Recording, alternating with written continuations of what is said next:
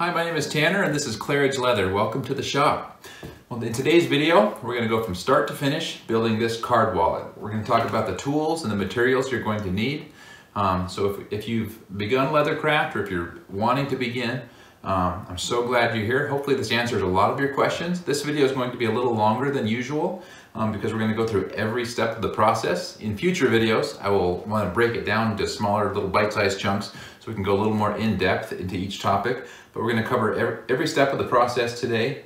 Um, I will have this broken down into chapters so that you can go to the timestamp um, in the description below. You can skip ahead if there's a, a section that's of particular interest to you. Well, hopefully you got a chance to watch the last video where we designed a uh, template for a card wallet together. So if you did that homework, bring it to class today. Um, so this is a real simple card wallet. It's a bifold card wallet um, and it can be configured with two pockets or three or four pockets. So it's pretty versatile that way. I think it actually works pretty well. So um, got your pattern. Next thing we're gonna need is some leather. So this is some three to four ounce Horween. It's a Dublin type leather. Um, you'll be pretty good to go with anything in that three to four, maybe four to five ounce range for a card wallet like this.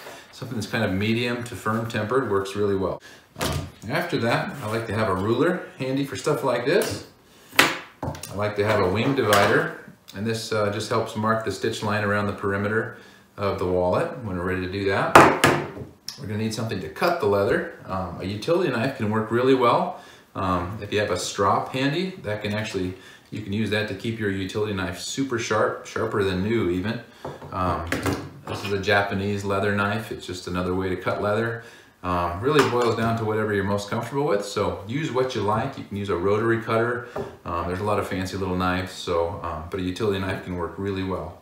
Um, next, we're going to need something to poke the holes in the leather for the stitching. So these are stitching irons.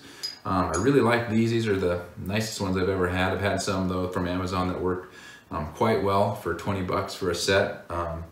So that's what I used for a long, long time when I got going and they work just fine. Um, always use some sort of a punch pad. You could use a piece of leather or wood. Um, this is kind of a vinyl material that works pretty well also and that just protects the teeth of your irons as you punch so they don't break off. Gonna need some needles and thread. Um, this is some thread, it's called twist thread. I kind of like it, it has some bright colors some John James harness needles, um, and a lighter. Also thread nippers go well with this little setup. I use a scratch awl. Um, as I put the pattern onto the leather, I use the scratch awl to scratch around. That just gives me a way to see uh, the markings on the leather to, so I know exactly where to cut. Um, this is a maul. This is a, a Barry King maul. It's one of my favorite tools, has a leather handle. Uh, anyway, I use that to tap on the end of these irons to poke the holes in the leather. So finally, kind of for the finishing touches, this is an edge beveler. This just takes the sharp corner off of the off the, the edge of the wallet, um, just so that it, it, looks a little more polished at the end. And you do that right before you burnish the edges. And when I burnish the edges, um, I found this stuff. It's called Tokonole. It's a cream that you rub on the edge, and then you can burnish it in with a um, piece of canvas or some Cocobolo, like a burnishing stick. This is actually little Dremel tool with a Cocobolo, Coco Bowler burnisher on the end of it, and it spins real fast and burnishes that edge up really nicely. Um, finally, some adhesive. This is a water-based adhesive that I think works actually really well. Um, and it doesn't stink up the shop too badly. So I've used that with pretty good success. So I think that's all we need to get started. So we'll roll out our leather, kind of mark out the, the pattern onto the leather and actually get, get cutting here. So. All right, so we'll lay the pattern right on the leather here. I like to use a little weight to help that stay put there as I trace around it. So I'm gonna use my scratch awl. Just kind of carefully trace around the edge here. For these more detailed cuts, um, you might want something with a smaller point on the blade. Um, this is like an, this is an X-Acto knife. Um, this is another knife uh, I found works kind of really well for stuff like this. So um, it just is, is nice for getting in and out of these smaller radiuses here. So. So these card pockets are gonna sit on here kind of like this, two on this side, and we'll put also two on the inside. And uh, what we'll do next is bevel and burnish the inside edges of these pockets because we won't be able to do that after we stitch it all together. So right now, we'll grab our little edge beveler and kind of go around. This is just a handy little tool. Just takes a little sliver of leather off there. Just enough to kind of break that edge. You kind of see it coming off like a little tiny thread there almost.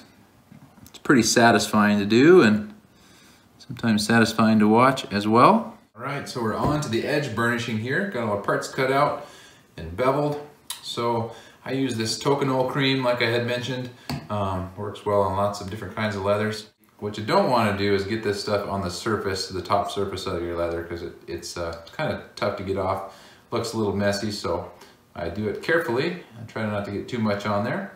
And after you get a thin layer on that whole edge, you can grab whatever you want to use to burnish. You can use a, a wooden stick. Some people like that, a burnishing stick. Um, you can use a piece of canvas. I have a piece of, it's more of a nylon material that I got from a canvas supplier. That works really well. Probably the best thing though that I've ever found to, to burnish an edge are some old Carhartt pants. Uh, as soon as you wear them out, don't throw them away, cut them up into little squares and keep them around because they work really well. And actually the more you use them, they kind of get loaded up and a little more slick themselves and they work really well. All right, so the last thing I want to do before I glue these all together is to put my logo stamp onto one of the pockets. So I'm going to use this Mighty Wonder press. It's a four ton clicker press.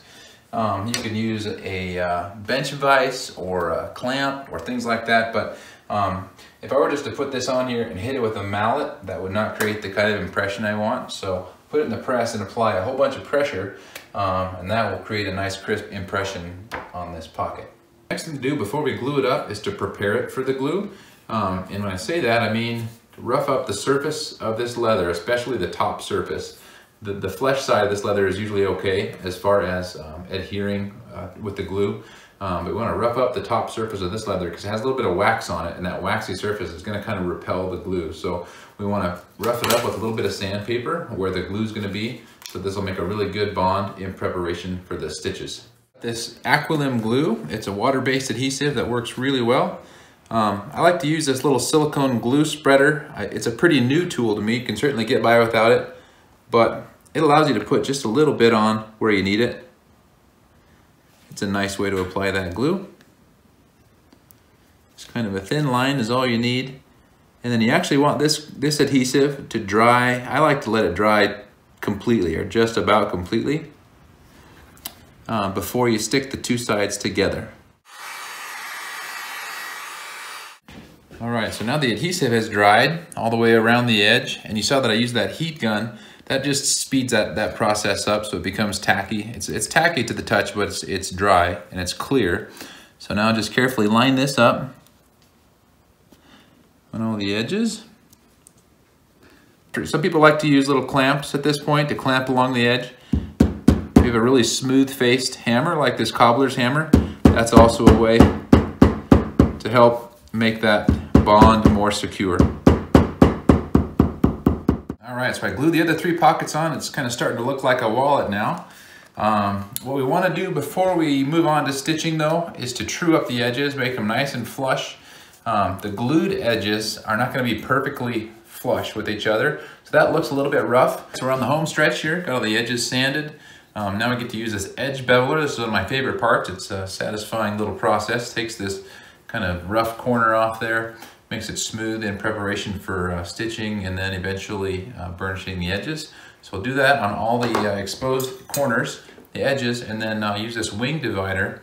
I'll scribe, or just kind of lightly uh, trace a line around um, about an eighth of an inch or maybe a little bit more. We'll see how it, how it measures out, but that'll be our stitch line around these pockets.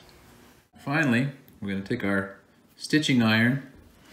I'm gonna hang one tooth up over that edge because I wanna put a stitch to catch the top part of that pocket so it's not flapping in the breeze.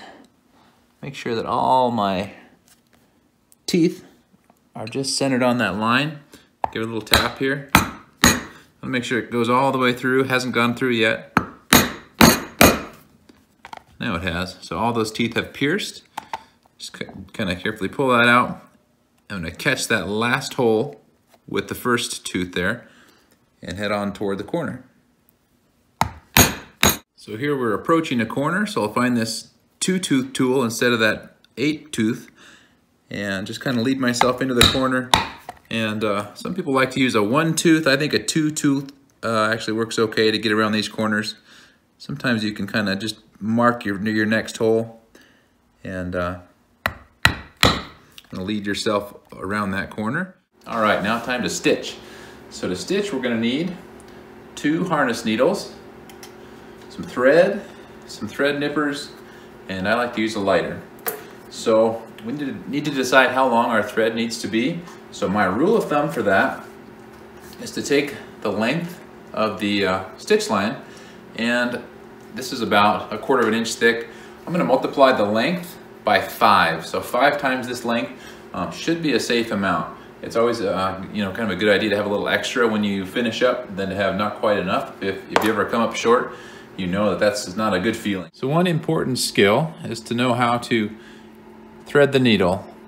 So I'm going to put this right through the eye of the needle, pull it through, and I'm going to use the tip of the harness needle to actually pierce this thread. This really only works for braided thread like this. Pierce it right through, and I'm going to push that on through. Give it a tug. You can see how it locks it on. So that's not going to go anywhere. I can pull that with some tension and it's going to stay right on, right attached to the thread. Okay, so at this point, I've got my thread pierced through the second hole from the end. I've got even lengths of thread on both sides and a needle on each end of the thread. I'm gonna go back up toward the top because I wanna do a double loop on this very top hole so that I can have a, two stitches over the top edge of the pocket. I'm not gonna go into too much detail in this video uh, about how to actually hand stitch. We'll do some more videos um, on that, but um, I think it's a good thing to learn. It's a really basic skill. Um, and if you learn to do it well, it's not too tricky, but if you if you can learn kind of the basics of making a good saddle stitch, really makes your, your pieces come out nice. So um, I will zoom in here and you can kind of watch how it goes for a few stitches um, and then keep an eye out for a video in the future where we get into some more detail. So when we get to the end, I like to leave a little tail here, maybe an eighth of an inch on each of those, or maybe a little bit less than that. And then with the lighter, I'm gonna melt them down, give them a little touch, and then there's not much left to show. So now we're gonna burnish these edges. You can see how the leather is a little bit fuzzy along the edge. We're gonna apply some of this Tokonole cream um, to the edges, and then you can use either canvas you can use, this is a piece of nylon, um, like Cordura nylon. This is a, a, wood burnisher that goes on a Dremel tool. You can use another kind of a, a wooden slicker like this. Um, so whatever you choose, it's the process is just to work that stuff, that Tokonole cream into the edge.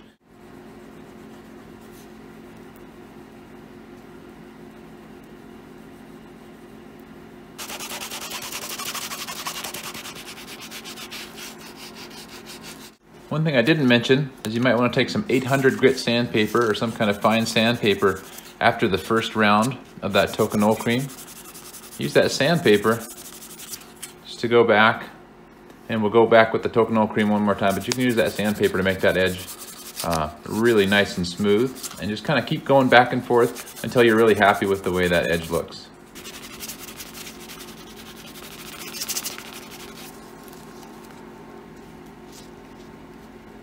All right, well I've used up all my elbow grease and I'm happy with the way that the edges look here, so I think I'm finished. So we've got uh, two pockets on the inside and two pockets on the outside here, um, so I think it's good to go. Um, I challenge you to make one as well. Give it your best shot. It may not be perfect, but that's all right. You can use it and enjoy it. You can give it to a friend. They, they would enjoy it for sure. Um, but the main thing is just to, if you, if you want to get going, uh, the best time to start is now. So hopefully these give you some tools to get started. Um, I really want to know what else you want to learn. If there are any questions you didn't get answered in this video, um, please ask these questions below. Also tell me topics you'd like to have covered in future videos. I can't wait to see you in some more videos. Um, thanks for joining me today. Please subscribe. Tell a friend if they want to learn some leathercraft too. Thanks for being here.